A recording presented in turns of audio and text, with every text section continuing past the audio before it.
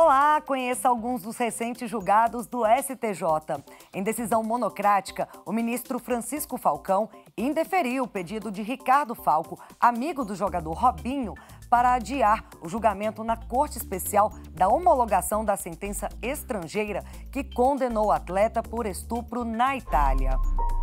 A sexta turma determinou a continuidade de queixa-crime ajuizada pelo presidente da Câmara dos Deputados, Arthur Lira, contra o senador Renan Calheiros por crimes contra a honra.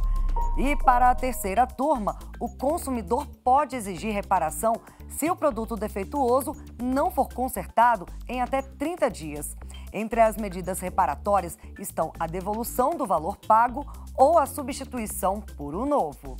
Você confere outras notícias no site do STJ e nas nossas redes sociais.